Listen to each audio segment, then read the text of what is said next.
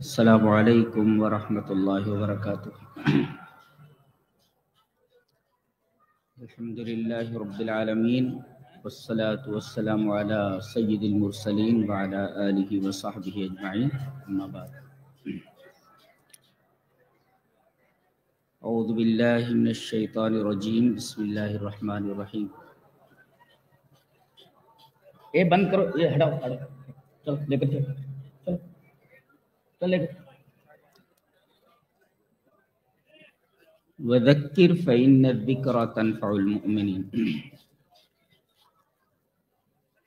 हजरात करम, मोहतरम बुजुर्गो, नौजवान भाइयों, प्यारे बच्चों, गर्दनशीन माँ और बहनों।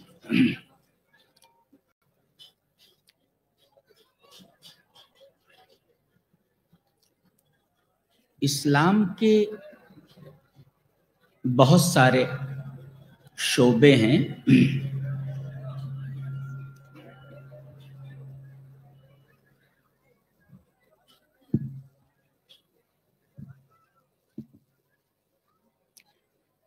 जैसे एक शोबा अकाइद का है, शोबा इबादत का है, एक शोबा मामलात का है, शोबा अखलाकियात का है। इन तमाम शोबों में एक शोबा मुआशरत मुआशरत। जो हमारी नादानी और बेअमली की वजह से तकरीबन हमारी निगाहों से ओझल हो चुका है। आज हम इसी अहम शोबे के ऊपर कुछ देर गुफ्तगु करना चाहते हैं। अल्लाह तबारक व ताला ने इंसान को इस तरह बनाया है, उसकी फितरत है कि वो तन्हा नहीं रह सकता।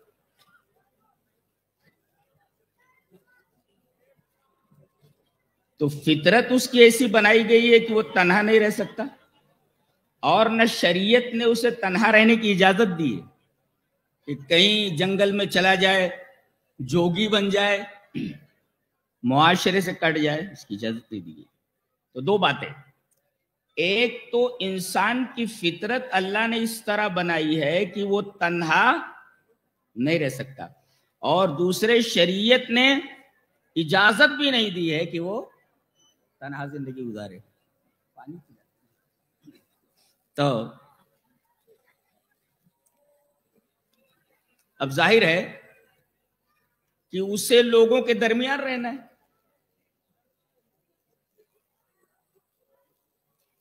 अब जब लोगों के दरमियान वो रहेगा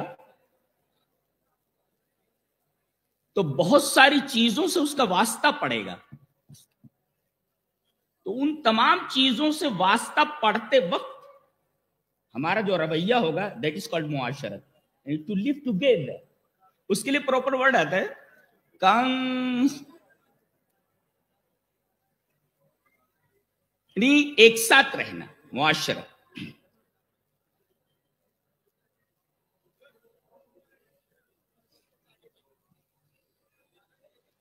वास्ता पढ़ते वक्त हमारा जो रवैया होना चाहिए, वो क्या होना चाहिए? इसी को मुआशरत कहते हैं। आज आमतौर पर ओलमा ये तकरीर करते हैं कि भाई, अकीदा बहुत अच्छा होना चाहिए। अकीदे के ऊपर काफ़ी ज़ोर दिया जाता है, ठीक है वो। अकीदा बुनियाद है। लेकिन अकीदा बयान करते करते अमल को एकदम नजरअंदाज कर देना या उसकी अहमियत को घटा देना, ये बहुत खतरनाक चीज़ है ये। ये तो मुर्जियत की तरफ़ रहनुमाई करने वाली बात हो गई। अकीदा ही सब कुछ। अमल की कोई अहमियत ही नहीं। आइए देखते हैं हदीस देखते हैं। हदीस हदीस इस तरह। वहाँ नबी हुरैरत रज़ी अल्लाह तआला अन्हु अन्न रसूलुल्लाह सल्लल्लाहु अलैहि वसल्लम क़ाल, अतदरून मल मुफलिस? कालू अलमुफलिसु फीना मल्ला दिरहम लहु वला मता। फक़ाल, इन्नल मुफलिस मिन उम्मती याती यौमल क़ियामती बिस्सलाति व सियामी व ज़का व याती क़द शतम हादा व कदफ हादा व अकल माला हादा व सफ़ा का दमा हादा व जराबा हादा फयूता हादा मिन हसनाती व हादा मिन हसनाती फ़ैन फनियत हसनात कबला युक्जा मा अलैह उखिद मिन खतायाहुम फतुरहत अलैहि सुम्मा तुरह फिन्नार रवाह मुस्लिम फ़ी किताब बिल वसीलति वल अदब नबी करीम सल्लल्लाहु अलैहि वसल्लम ने एक दफ़ा पूछा साहब कराम से, क्या तुम जानते हो कि मुफलिस किसको कहते हैं? गरीब किसको कहते हैं? गरीब। साहब कराम ने कहा कि अल्लाह के रसूल, गरीब वो है जिसके पास न दिरहम हो और न मता हो। ये दिरहम क्या होता है? मल लई सलहू दिरहम, यानी ला यमलिकु मालन, यानी उसके पास माल ना हो। और मता ना हो, मता किसको बोलते हैं? नकद। यानी जिससे रुपया हासिल हो। यानी रुपया भी ना हो और जिस चीज़ से रुपया मिलता है, वो भी ना हो। यानी माल और मता दोनों ना हो। अल्लाह के रसूल सल्लल्लाहु अलैहि वसल्लम ने इशाद फरमाया, मैं दुनिया के मुफलिस की बात नहीं कर रहा मैं मैं आखरत के मुफलिस की बात कर रहा हूँ। गोया, दुनिया के अंदर जो आदमी मुफलिस होता है, ये मजाजी और गैर हकीकी मुफलिस है। इसलिए कि गरीबी आती है चली जाती है। आती बैद आती है चली जाती। लेकिन हकीकी मुफलिसी, आखरत की मुफलिसी है कि एक दफ़ा आई तो फिर जाती नहीं है। तो हकीकी मुफलिसी वही है अल्लाह के रसूल सल्लल्लाहु अलैहि वसल्लम ने फरमाया, मैं बताता हूँ, हकीकी मुफलिस कौन है कयामत के दिन? कमाए खुद और दे दिए दूसरे के। एक तो बड़ा मुफलिस कौन है? ये देखो, पनिया क्या होता है? यार तो बीमार आदमी है यार।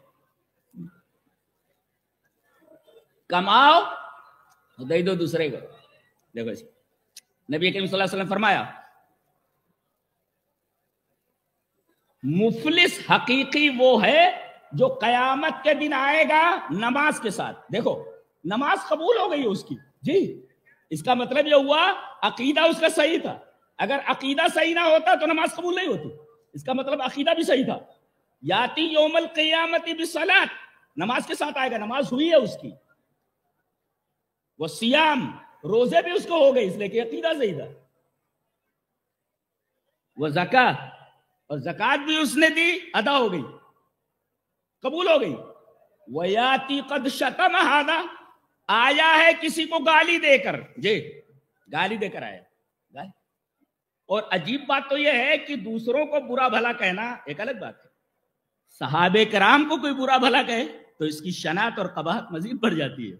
वयाती कद शतम हादा आया है वो किसी को गाली देकर, बुरा भला कहकर, वो कजफा हाजा किसी को पर इल्ज़ाम लगाकर, वो अकला माला हादा किसी का माल खा गया। वह सफ़ा का दमा हादा किसी का मर्डर कर दिया। वह जरा बहादा किसी को मार दिया। अब जालिम और मजलूम दोनों को खड़ा कर दिया जाएगा।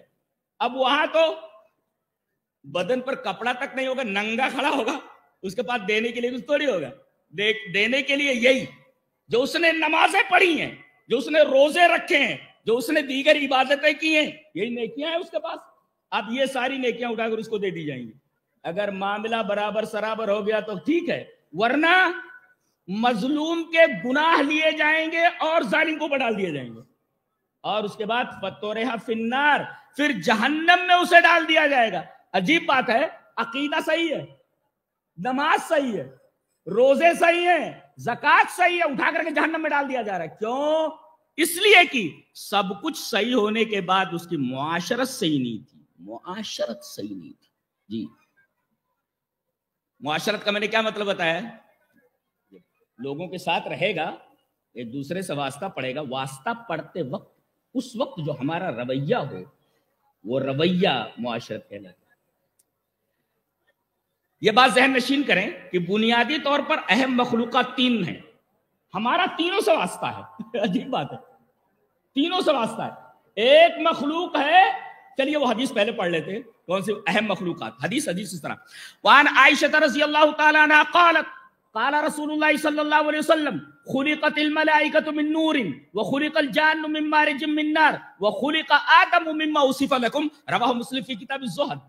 हजरत इमाम मुस्लिम रहमहुल्लाह मुस्लिम शरीफ किताब जुहद के अंदर ये रिवायत इसी तरह लाए राविया हजरत आयशा रजी अल्लाह ताला वो फरमाती हैं कि नबी अकरम सल्लल्लाहु अलैहि वसल्लम ने इरशाद फरमाया कि अल्लाह ने फरिश्तों को नूर से पैदा किया है और जिन्नों को आग के शोले से और आदम को मिट्टी से ये तीन मखलूकत है नूरी नारी खाकी और हमारा तीनों से वास्ता है पहले हम जिन्नों को देखते हैं जिन्नों से भी हमारा वास्ता है अच्छा जिन्नों से भी वास्ता है जी हाँ दलील दलील ये हदीस पाक वान अब्दुल्लाह इब्न मसूद रजी अल्लाह तआला अन्हु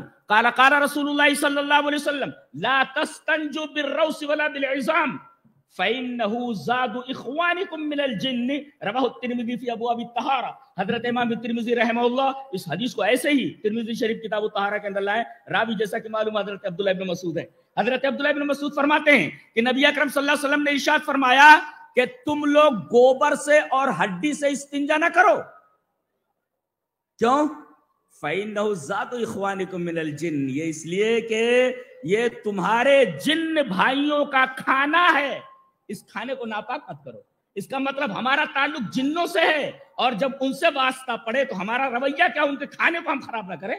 इखवानी को मिनल जिन। जी। हमारा ताल्लुक फरिश्तों से भी है। जी, दलील दलील, ये हदीस पाक। वान जाबिर इब्न अब्दुल्लाह रज़ी अल्लाह तआला अन्हु अन नबी सल्लल्लाहु अलैहि वसल्लम क़ाल अन्न नबी सल्लल्लाहु अलैहि वसल्लम क़ाल, मन अकल मिन हादिहिल बकलती वकाल मर्रतन मन अकल मिनल मन अकल अल बसला वसूमा वल कुर्रास फला यकरबन मस्जिदना फइन्नल मलाइकत ततअज़्ज़ा मिम्मा यतअज़्ज़ा मिनहु बनु आदम रवाह मुस्लिम फ़ी किताबिल मसाजिद हज़रत इमाम मुस्लिम रहमहुल्लाह इस हदीस को ऐसे ही किताबुल मसाजिद के अंदर लाए। हज़रत जाबिर बिन अब्दुल्लाह फरमाते हैं कि नबी अकरम सल्लल्लाहु अलैहि वसल्लम ने इरशाद फरमाया कि जो आदमी इस सब्ज़ी से खा ले सब्ज़ी कौन सी? लहसन, कच्ची लहसन। और एक मरतबा आपने कहा, जो आदमी कच्ची प्याज खा ले, जो आदमी कच्ची लहसन खा ले, और जो कुर्रास खा ले। कुर्रास कहते हैं गंदरा, इसको इंग्लिश में लीक कहते हैं। लीक एल डबल ई के लीक। लीक मीन्स गंदर। गंदरा जब प्याज जैसी होती है प्याज जैसी उनकी डंठल वगैरह, और उसका जो उसकी जो शाख होती है, वो प्याज जैसी होती है। बहुत गंधाती, बहुत ज़्यादा वो बदबू आती तो जो आदमी कच्ची प्याज खा ले, कच्ची लहसन खा ले और ये गंदना खा ले, ली। तो जब तक मुँह में उसकी बदबू है, फला यक रबन मस्जिदना। मस्जिद में घुसना तो दूर की बात है, मस्जिद के करीब ना है क्यों?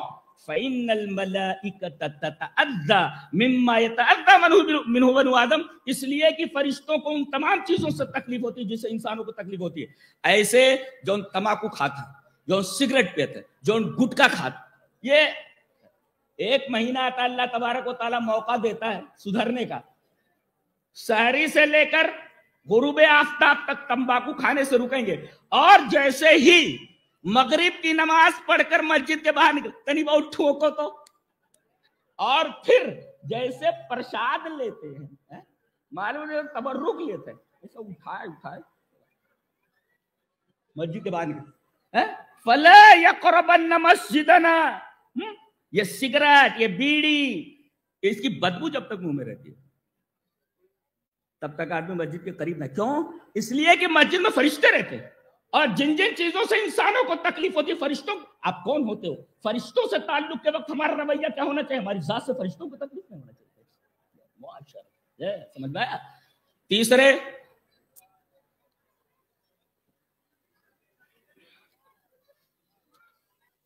घर घर। घर। घर से भी हमारा ताल्लुक है। अब घर से जब हमारा ताल्लुक है तो उससे भी मुआशरत हमारी अच्छी होनी चाहिए। दलील दलील, ये हदीस है। वान आमिर बिन सादिन नबी, काला काला रसूलुल्लाह सल्लल्लाहु अलैहि वसल्लम तहिरु अफनियतकुम फइनल यहूद ला तुतहिरु अफनियतहा, रवाहु तबरानी फिल मुजमिल औसत वकाल अल-अल्बानी हदा हदीस सहीह हज़रत आमिर इब्न साद अपने बाप से रिवायत करते हैं कि नबी अकरम सल्लल्लाहु अलैहि वसल्लम ने इरशाद फरमाया कि अपने अफनिया को पाक अफनिया किसको बोलते हैं? अफनिया, ये फनाउन की जमा फना कहते हैं, अलमुत्तसा मिनल अर्द अमामदार घर के, या आपका घर है ये, या आपकी सरहद खत्म हुई घर की घर की हद खत्म हुई। उसके बाद जो आगे जो खुली हुई जगह है, खुली हुई जगह है, इसको साफ़ पाक रखो। हम क्या करते हैं? अपनी जगह पर घर बनाएँगे। और उसके बाद जो नलवा है अगवा चलता है? वो कहा बस लादी डाल देता होता हो। गए? कवर हो गए? और ओकरे बाद अगवा हमारे यहाँ करके देखिए, आगे फिर टाकी रखते हैं। टाकी के आगे फिर मोटरसाइकिल लगते हैं। मोटरसाइकिल का खटिया बिछा लेते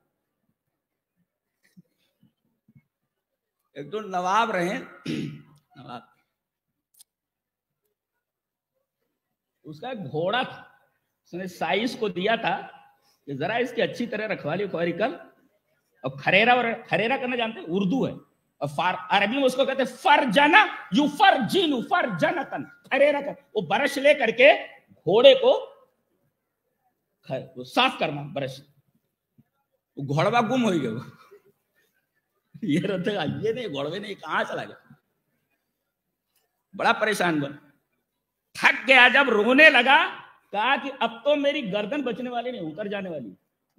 नवाब साहब को पता चल ही गए घड़वा गुम हो गया। उतार दे मुंडी। एक तरकीब सूझी, गया और जंगल से खरगोश पकड़ करके लाया।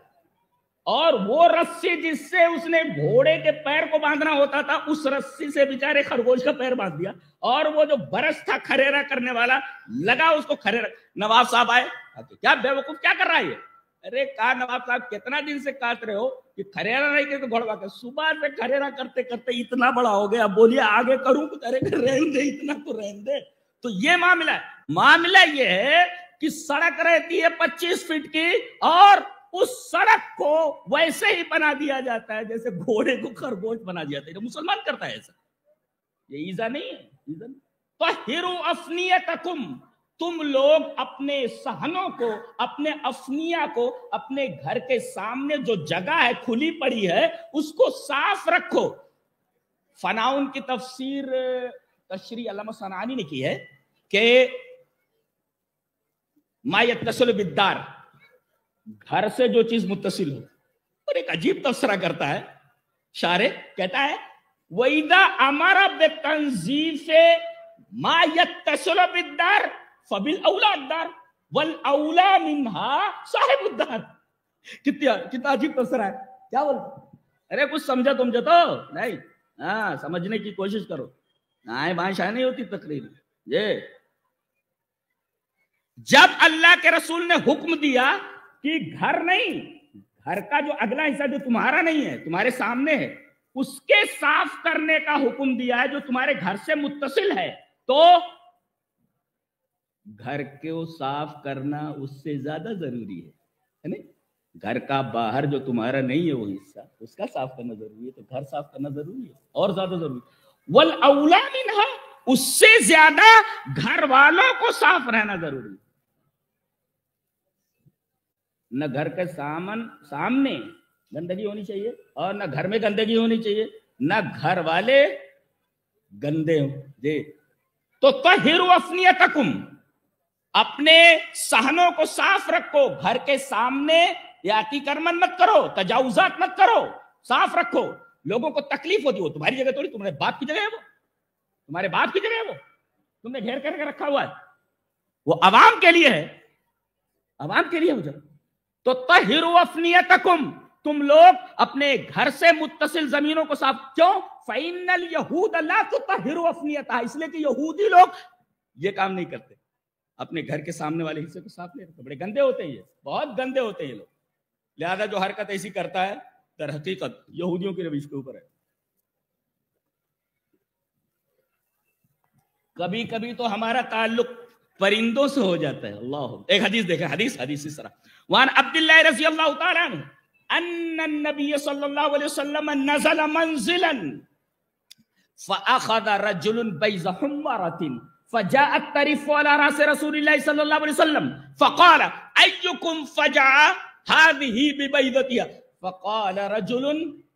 या रसूल फकार नबी उर्दुद रहमत बुखारी फिल अदब अल मुफरद हज़रत इमाम बुखारी रहमतुल्लाह इस हदीस को इसी तरह अदबुल मुफरत के अंदर लाए रावी हज़रत अब्दुल्ला इब्न मसूद है हज़रत अब्दुल्ला इब्न मसूद फरमाते हैं कि नबी अकरम सल्लल्लाहु अलैहि वसल्लम एक सफ़र में थे एक जगह पड़ाव डाला तो एक सहाबी गए एक झाड़ी थी वहाँ देखा कि वहाँ एक लाल चिड़ी ने हमारा एक लाल चिड़ी ने छोटे छोटे अंडे दे रखे थे, उसका घोसला था। अंडे लेकर के आ गए। अब वो जब चिड़ी आई तो देखा अंडे है नहीं। घूम करके आई। और नबी करीम सल्लल्लाहु अलैहि वसल्लम के सर के ऊपर मंडलाने लगी। फजा तरीफ अला रास रसूलुल्लाह सल्लल्लाहु अलैहि वसल्लम। रसूलुल्लाह सल्लल्लाहु अलैहि वसल्लम के सर पर फड़फड़ाने लगी। नबी करीम सल्लल्लाहु अलैहि वसल्लम ने उसकी बेकरारी देखी, फरमाया, अय्युकुम फजा हादी बिबाइजतिहा किसने? इसका अंडा लेकर के इसको तकलीफ़ पहुंचाई है ये हमारा नबी है। ममा अरसलना का रहमत आलमीन। जो परिंदे की तकलीफ़ को देख करके तकलीफ़ महसूस करे, वो उसके मानने वाला बड़ा आतंकवादी और जो है दहशतगर्द कैसे हो सकते? ये तालीम इस्लाम थोड़ी देता है। परिंदे के परेशान होने से अगर हमारा नबी परेशान हो जाए तो अंदाज़ा लगे ये रहमत का। फरमाया इसका अंडा लेकर के इसको किसने तकलीफ़ पहुंचाई? अल्लाह अकबर। किसने तकलीफ़ पहुंचाई? वो आदमी आगे बढ़ा, फकाल रजुल या रसूल था अरे, अल्लाह के रसूल अंडे बड़े प्यारे प्यारे थे, इसको लेकर आ गया हो उर्दू, ले आकर के लौटा। रहमत अल्लाह उस छोटी सी चिड़िया के ऊपर रहम करते हुए अल्लाह के रसूल सल्लल्लाहु अलैहि वसल्लम ने फरमाया, इसको ले जा करके वहीं उसके घोंसले में रख। गोया कि परिंदों से भी हमारा ताल्लुक है। जी, उसके साथ भी हमारी मुआशरत अच्छी होनी चाहिए। जी, घर से हमारा ताल्लुक अच्छा जिन्नों से हमारा ताल्लुक अच्छा फरिश्तों से हमारा ताल्लुक अच्छा परिंदों से हमारा ताल्लुक अच्छा। उसके बाद जरा बाहर निकले, पड़ोसी है, पड़ोसी। दस मिनट रहेगा तो बता दीजिएगा पड़ोसी। हम पड़ोसियों को कोई ख्याल नहीं रखते। एक हदीस देखते हदीस हदीस सर वान आयशा रज़ी अल्लाह तआला अन्हा नबी सल्लल्लाहु अलैहि वसल्लम कॉल, मा ज़ाल जिब्रील यूसीनी बिल जारी हत्ता ज़ननतु अन्नहु सयुवर्रिसुहु। रवाहुल बुखारी फ़ी किताबिल अदब। हज़रत इमाम बुखारी रहमहुल्लाह, इस हदीस को ऐसे किताबुल अदब के अंदर लाए रावी हज़रत आयशा रज़ी अल्लाह ताला ने हज़रत आयशा रज़ी अल्लाह ताला फरमाती हैं कि रसूलुल्लाह सल्लल्लाहु अलैहि वसल्लम ने फरमाया, जिब्रील आए थे और वो पड़ोसियों के इतने हुकूक बता रहे थे कि मैंने ये गुमान किया कहीं पड़ोसियों को वरासत में हिस्सा न दे दिया जाए, हिस्सा न मुकर्र कर दिया जाए। चाहे वो पड़ोसी मुस्लिम हो या गैर मुस्लिम हो, उसके साथ उसने सलूक, ये ईमान का हिस्सा है। वो अहसन इला जारी का तकुन मुमिनन। ये हदीस इमाम तिरमिजी किताब जोहद में लाया जिसका मैंने टुकड़ा पढ़ा है। गोया पड़ोसी के साथ उसने सलूक करना, ये ईमान का हिस्सा है। तो पड़ोसियों के साथ हमारा वास्ता पड़ता है।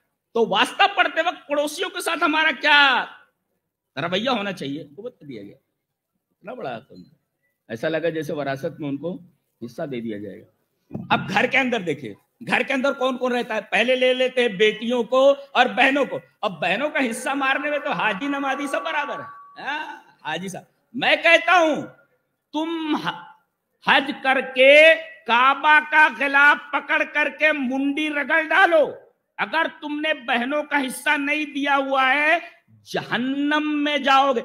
और जानते हो कैसी जहन्नम में खालिदन फिया हमेशा रहोगे। अल्लाह, ये मुसलमानों के लिए नहीं आता, लेकिन यहाँ है। यहाँ है।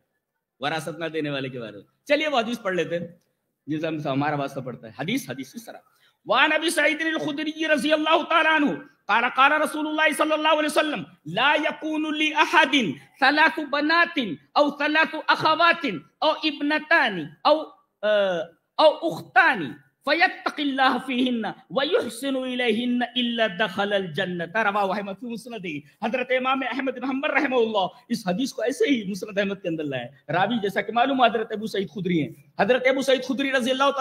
फरमाते ने इरशाद फरमाया कि जिस आदमी के तीन बेटियाँ हूँ या तीन बहनें हूँ सलासु बनातिन और सलासु अखवातिन तीन बेटियाँ हूँ या तीन बहनें हूँ और इब्नतानी या दो बेटियाँ हूँ, और उख्तानी या दो बहनें हूँ। फैत फीहिन्ना। इनके बारे में अल्लाह से डरे। हम्म। इनके बारे में अल्लाह से डरे। वह युहसिन हिन्ना और उनके साथ हुसन सलूक करे तो जन्नत में चला जाए। दखल जन्नत जन्नत या बहन का हिस्सा मार करके बैठ जाते। बहन का हिस्सा मार करके बैठे हुए दखल जन्ना नहीं तो? दखल नार, जहन्नम। तो बेटियों से हमारा वास्ता पड़ता है, बेटियों से वास्ता पड़ते वक्त हमारी मुआशरत क्या होनी चाहिए? हमारा रवैया क्या होना चाहिए? बहनों के साथ वास्ता पड़ता है, उनसे वास्ता पड़ते वक्त हमारा रवैया क्या होता what should be our behaviour हमारा रब क्या होना चाहिए? हमारा रवैया क्या होना चाहिए? दैट इज़ और घर में और कौन रहता है? घर में मियाँ और बीवी रहते हैं। चलिए, हम जब आते हैं मौला साहब, एक बात बोलनी थी बोले को मेरा हक, घड़ी ना देखूँ? नहीं ठीक है, वो दस मिनट पहले बोल दो तो एक साहब, जब कोई आता है, कहता मोली साहब, मेरा हक मेरी बीवी के ऊपर क्या है? एक साहबी आते वो उल्टा पूछते चलिए देखते हैं हदीस हदीस हदीस इस तरह वान हकीम इब्न मुआवियत अल कुशैरी अन अबीही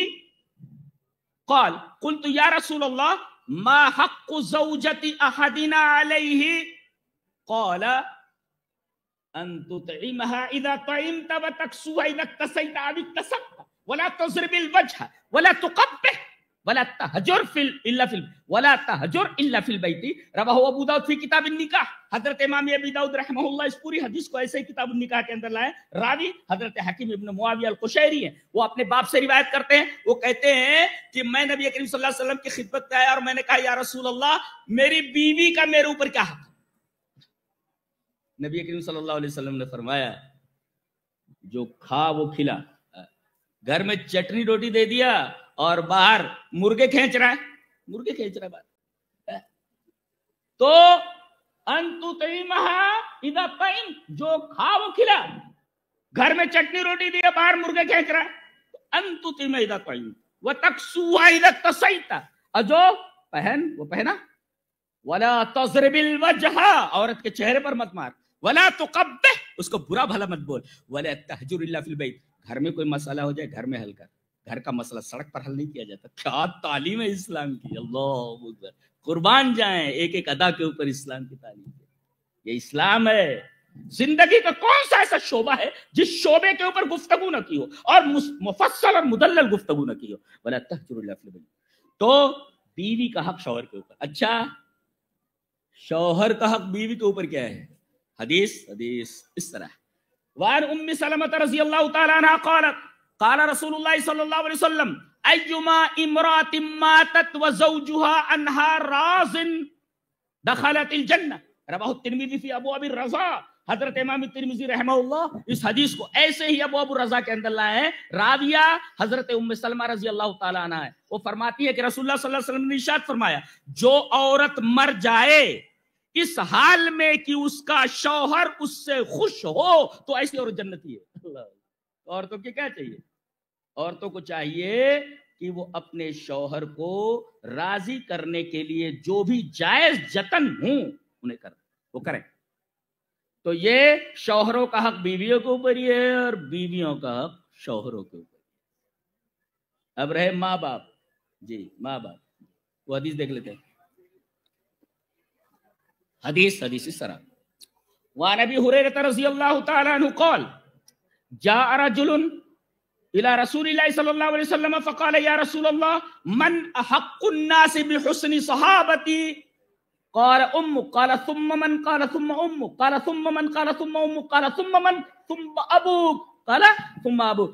रवाहुल बुखारी की किताब अदब हजरत इमाम बुखारी रहमहुल्लाह इस हदीस को ऐसे ही किताब अदब के अंदर रावी हजरत अबू हुरैरा है हजरत अबू हुरैरा रजी अल्लाह तआला फरमाते हैं कि एक आदमी रसूलुल्लाह सल्लल्लाहु अलैहि वसल्लम की खिदमत में आकर कहा या रसूलुल्लाह एक मसला पूछना है। पूछो। का कि हमारे हुस्न सलूक का सबसे ज़्यादा मुस्तक कौन है? कहा कि तेरी माँ। कहा कि फिर तेरी माँ। कहा कि फिर कहा कि तेरी माँ। अल्लाह। एक नुक्ता बताता हूँ ओलमा के लिए। आपकी समझ में आ जाए तो ठीक है।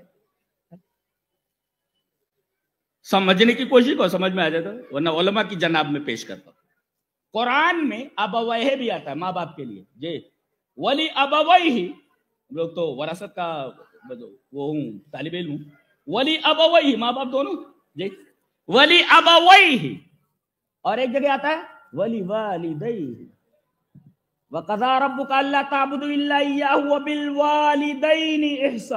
अच्छा। व अलल व सुजदा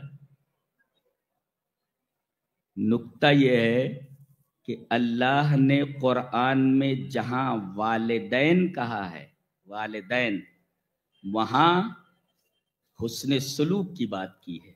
जी, उनके साथ हुस्न सलूक की बात की, हमेशा। हाँ लेकिन जहाँ अब वह आया है, वहाँ हुसन सलूक की बात नहीं। क्यों? इसलिए कि जब वालिदैन कहा जाता है तो वहाँ गलबा माँ को दिया जाता है। पैदा वही करती है ना। हाँ, और वहाँ देखो तख्त पर बैठना यह बाप का काम है माँ का नहीं लिहाजा। वरफा अब बाप को गलबा दिया गया। गोया कि जब अब वह कहा जाए तो गलबा बाप को और वालदह कहा जाए तो गलबा माँ को। जहाँ भी वालदे आया है वहाँ हुसन सुलूक की बात आई है। इशारा इस बात की तरफ़ है बतौर खास माँ तुम्हारे हुसन सलूक की मुस्तक है। ये दुखता है, अब वह का और वालदह का जी जी जी वक़दा रब्बुका अल्ला इल्ला इय्याहु बिल वालिदैन ihsana जहाँ भी आप देखेंगे, वालिदैन का तस्करा, वालिदैन का तो हुस्न सलूक का तस्करा है। वो अब वह जहाँ आया, वहाँ हुस्न सलूक नहीं है। वहाँ हिस्सा उस्सा या इसी तरीके से उनका मर्तबा बताया गया है कि इनका मकाम क्या है वगैरह। पैदा कौन करता? माँ करती है ना। और तीन चीज़ें ऐसा करती है बाप कर ही नहीं सकता। है? नौ महीना पेट में उठाती है। और पैदा होते वक्त मौत हयात की कश्मकश में होती है। बाद औरतें मर जाती है वो तकलीफ़ उठाती और फिर जब पैदा होता है तो मुफसर कुरान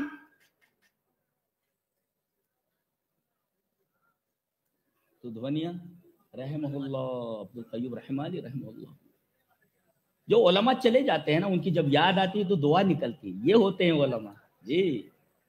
ये होते हैं ओलमा कि ओलमा उन्हें याद रखे और दुआ करें। कहा जब पैदा हो जाता लड़का तो यक पोखरा दूध पिया देती। पोखरा दूध पिया। तो दूध पिलाने वाली वो निगहदाश्त करने वाली वो, पैदा करते वक्त तमाम तरह की तकलीफ़, दर्द से की तकलीफ़ जो उठाने वाली वो, और नौ महीने पेट में उठाने वाले। तीन काम ऐसे करते बाप कर ही नहीं सकता। लिहाजा तीन दर्जे तो ऐसे ही मंतिकी तौर पर लॉजिकली उसके होने चाहिए। तीन मरतबे उसके बुलंद कर दिए गए। जी। सुम्मा उम्मुक सुम्मा उम्मुक, सुम्मा सुम्मा अबूक। जी। तो माँ के साथ उसने सलूक और बाप के साथ उसने सलूक।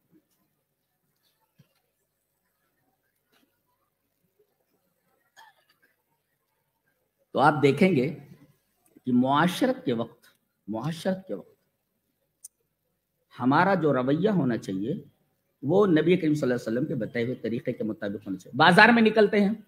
बाज़ार वालों से हमारा वास्ता पड़ता है। जी, बाज़ार वालों से। बाहर निकले। पड़ोसी है, पड़ोसी के बाद बाज़ार है। बाज़ार भी जाते दलील दलील, ये हदीस बात। वाह नबी का कॉल समय तो अबा अब्दुल्लाजदली यकूल साल तु अन आयशा रज़ी अल्लाह तआला अन खुलुक रसूलुल्लाह सल्लल्लाहु अलैहि वसल्लम फक़ालत लम यकुन फाहिशा वला मुतफहिशन वला सखाबन फिल अस्वाक वला यजज़ी बिसय्यति सय्यता वलाकिन याफू व रवाहु तिरमिजी फ़ी अबवाबिल बिर्रि वसिलति वल आदाब हज़रत इमाम तिरमिजी रहमहुल्लाह तिरमिजी शरीफ के अंदर इस पूरी रिवायत को ऐसे ही अबवाबिल बिर्रि वसिलति वल आदाब के अंदर लाए हज़रत अबू इसाक कहते हैं, मैंने अबू अब्दुल्ला जदली को ये बयान करते सुना कि मैंने आकर के अम्मा आयशा, हज़रत आयशा रज़ी अल्लाह तला ने से पूछा, अम्मा, एक सवाल कर रहा है, क्या? कहा कि रसूलुल्लाह सल्लल्लाहु अलैहि वसल्लम के अखलाक बताइए। अखलाक बताइए। देखिए, एक एक लफ्ज को गांठ बाँध लीजिए। जी। फरमाया, लम यकुन फाहिशन वला मुतफहिशन। ना तो आप फाहिश थे ना मुतफहिश बल फ़र्क बैन अल फाहिश वल मुतफहिश लम यकुन फाहिश वला मुतफहिश बल फ़र्क बैनहुमा दोनों के दरमियान क्या फ़र्क है फाहिश का मतलब अल्लज़ी यतकल्लम बिल फाहिश अल्लज़ी यतकल्लम अल फाहिश बोले तो गंदा बोले गंदा बोले अच्छा और फिर मुतफहिश अल्लज़ी यजअलुहु दैदनहु आदतु अब मुतफहिश वो है कि ये गंदी बात मुँह से निकालना उसकी आदत बन जाए। फाहिश जो होता है कभी कभी अच्छो बोल लेते हैं लेकिन जब बोलता, बुरा बोलता है। लेकिन कभी कभी अच्छा भी बोलता है। लेकिन मुतफहिश कौन होता है? बोलेगा तो माँ बहन की बोलेगा ही। जे यहाँ तक कि दोस्त, एक दोस्त से खिताब करके माँ बहन की गाली देकर वो खातब करता दोनों हँसते मुतफहिशन, ना तो आप फाहिश थे ना मुतफहिश थे अच्छा? वला सखाबन फिल यहाँ कहा गया सखब सखब होता है। इसलिए कि दो एक हज़ार आदमी कहीं जमा हो तो अगर सांस भी ले तो शोरत ले सांस भी आहिस्ता, के नाजुक है बहुत काम। आफाक की इस कार गहे शीशागरी का। तो बहुत सारे लोग जहाँ जमा होते हैं, वहाँ शोर तो होता ही है, सखब होता है। एक बात याद रखो, जन्नत में सखब नहीं है शोर शराबा नहीं है। काहे? इसलिए कि ये शोर जो होता है ना, ये दिमाग के ऊपर भी असरअंदाज होता है दिल के ऊपर भी। इसलिए कि समाज का ताल्लुक डायरेक्ट कल्ब से है। जी। लिहाजा देखो पोश एरियाज़ में लिखा होता है, यहाँ इस डेसिबल के आगे, इस डेसिबल से ज़्यादा आवाज़ के। आप यहाँ हॉर्न नहीं बजा सकते। क्यों भाई? क्यों हॉर्न नहीं बजा सकते? इसलिए कि हॉर्न की आवाज़ से आदमी का दिमाग मुतासर होता है, दिल मुतासर होता है। ये एक नुकता बताऊ? ये जानने लोग है। कितना बेबो जी जी। वो जानवी लोग गए। कहा? जहन्नम के दरवाज़ा पहुँचा है। डांट के कहा ये कैसे आई हो? अलम यातिकुम नदीर। तुम्हारे पास कोई डराने वाला नहीं आया? है? अब ज़रूरत है आप लोगों को डंडा दुखाने की, डंडे की ज़रूरत है आप लोगों को। आप लोगों को ये नहीं कहना, अरे, ये कर लो तो माफ़ हो जाएगा, ये कर लो तो जन्नत में चले नहीं नहीं बहुत खराब हो गए हो तुम लोग। बहुत खराब हो गए हो। और इसी खराबी की वजह से आज पूरी दुनिया में हमारे सरों के ऊपर जूते पड़ रहे हैं। मालूम है? ऊँट रे ऊँट, तेरी कौन सी कल सीधी? तो ऐसे ऊँट की तरह हमारी मिसाल हो गई। एक भी कल सीधी नहीं है। तो हम कौन सा नुकता बताने जा रहे थे? वो पहुँचे वहाँ। डांट करके कह रहा है, अलम या तुम नजीर क्या तुम्हारे पास कोई डराने वाला नहीं आया? कालू, भला, क्यों नहीं? आया था। फिर यह कैसे आएगा?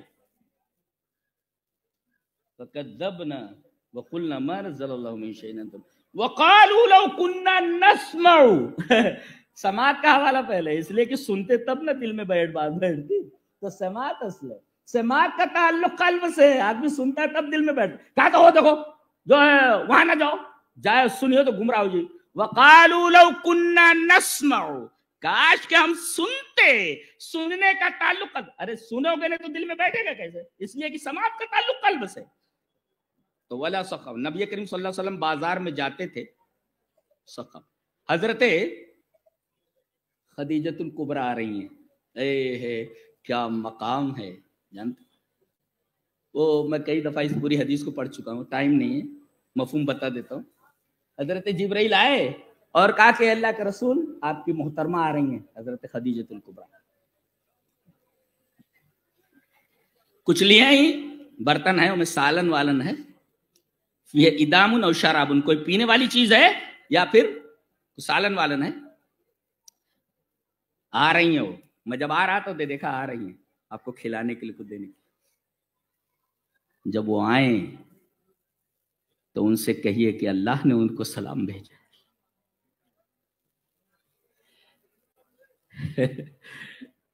हमारी औरतों को तो फुर्सत ही नहीं है। वल्ला कहता हूँ, दो काम अगर कर लें, दूसरे दिन हमारी किस्मत बदल जाए। हमारे हालात बदल जाए। एक तो हमारे घर से फजर के बाद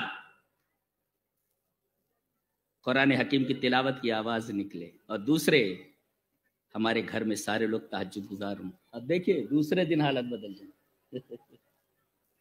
हमारा क्या ताल्लुक? ना तो कुरान से हमारा ताल्लुक, ना अल्लाह से कोई ताल्लुक है छोड़ दिया गया तुमको, जाओ। जाओ। पीटो, जो चाह रहा पीट दे रहा अल्लाह। क्या कह रहे थे हम? हम्म, क्या कह रहे थे? हाँ यही चीज़ हमारे अंदर नहीं। तो आए अल्लाह तबारक ताला ने उनको सलाम भेजा। अल्लाह का सलाम बोलिए उनको कि अल्लाह ने उनको सलाम भेजा। और उसके बाद फिर मेरा सलाम बोलिए। क्या औरत होगी जिसे अल्लाह का सलाम आता हो? और जब वो आए तो अल्लाह का सलाम कहने के बाद मेरा सलाम बोलिए।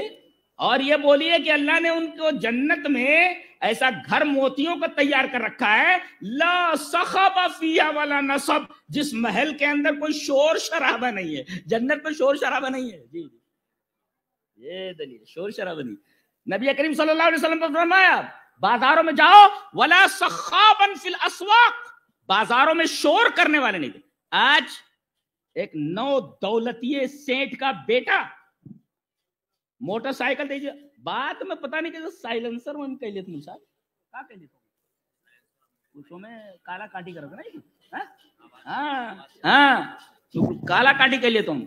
भड़ भड़ भड़ भड़ भड़ वो नहीं देख रहा है कि इस आवाज़ से पड़ोसी का बच्चा जो अभी सोया है मुतासर हो सकता है। जी। बात खत्म हो गई।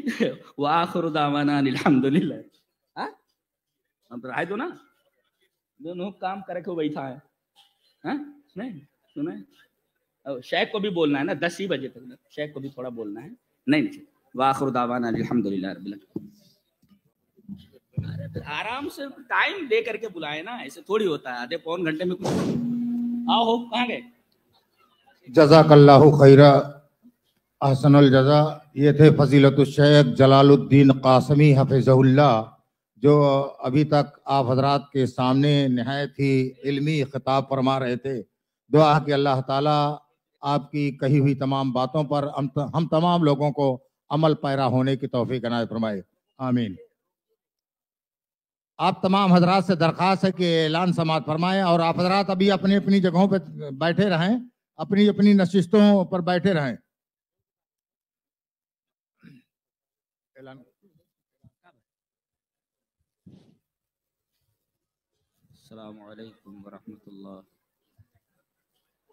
ये देखिए बरतानिया में एक बहुत बड़े स्कॉलर हैं एक।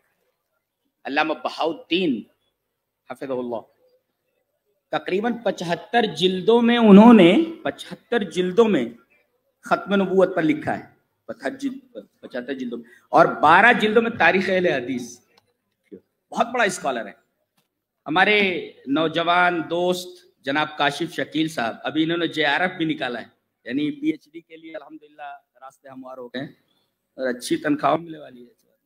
तो अल्हम्दुलिल्लाह, इनके लिए बहाउद्दीन अवार्ड से नवाजा गया इनको, और तो जो है दिया गया है।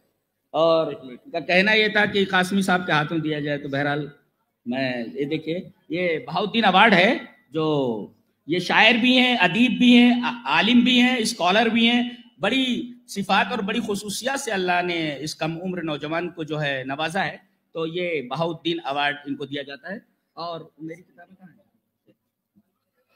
और ये मेरी किताब है, मैं अपनी तरफ़ से तदमीसुल माकूल, फलसफे पर है। ये नहब के ऊपर ये दखीम किताब है। जी।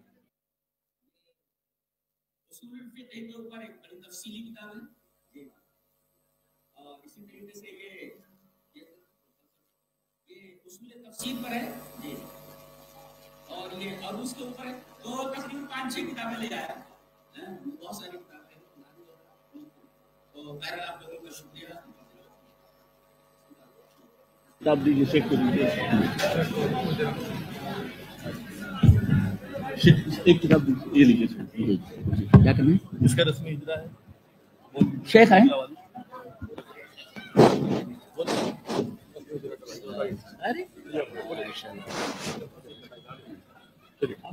हज़रत ग्रामी जैसा कि शेख जलालुद्दीन साहब आसमी हफजुल्ला ने बहुत सारी बातें आपके सामने रखी कि मोहसिन मिलत मर्रख हदीस नाजिश सलफियत अल्लामा डॉक्टर प्रोफेसर बलाउद्दीन हफिज़ुल्लाह जो बरतानिया में रहते हुए पचहत्तर जिल्दों में तहरीक ख़त्म नबूत तसनीफ की और बारह जिल्दों में तारीख़ अहल हदीस मुरतब फरमाई।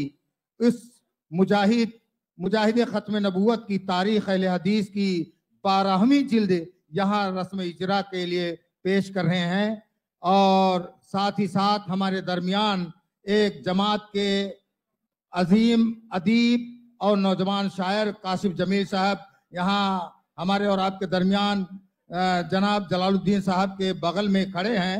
इन्हें एवार्ड के तौर पर ये इस किताब के इजरा के लिए जनाब जलालुद्दीन कासमी हफिजुल्ला के हाथों से रस्म इजरा की जाएगी और इन्हें जो अवार्ड दिया गया है, उसके लिए इन्हें ये किताब दी जाएगी। अलैक्म इस पुरमसरत मौके पर डॉक्टर बहाउद्दीन साहब का कहना था कि हमारी तरफ़ से यहाँ मुंबई की तरफ़ से हम उन्हें एक खिदमात के एतराफ़ में उनके एक, एक शील्ड पेश करना चाहते थे। और मैं चाहता हूँ कि अल्लामा जलालुद्दीन कासमी साहब वो शील्ड उनकी नियाबत में आ, हमारी तरफ़ से कबूल फरमाएँ। बहुत शुक्रिया। ये शील्ड अल्लामा डॉक्टर बहाउद्दीन साहब जिन्होंने पचहत्तर जिल्दों में ख़त्म नबूत पर काम किया है और बारह जिल्दों में तारीख़ हदीस मुरतब की है। ये उनकी खिदमत में, हम उनकी नियाबत में शेख जलालुद्दीन कासमी हफिज़ल्ला को पेश कर रहे हैं। हयाकल्ला शेख बहाद्दीन साहब, हम आपके बहुत ज़्यादा शुक्रगुजार हैं। आपने मुझे इस लायक समझा और हम आपके तहे दिल से शुक्रगुजार हैं।